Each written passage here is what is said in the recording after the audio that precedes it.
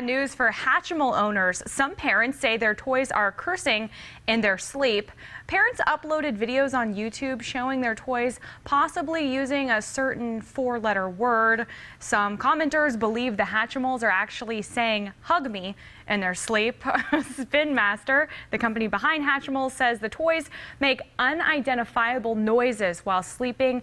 They deny the toys are saying hug me or swearing on their own. This comes after news broke yesterday that some toys are failing to hatch. And we have that video on our Facebook page. And after the break, Aaron will have another look at the weather.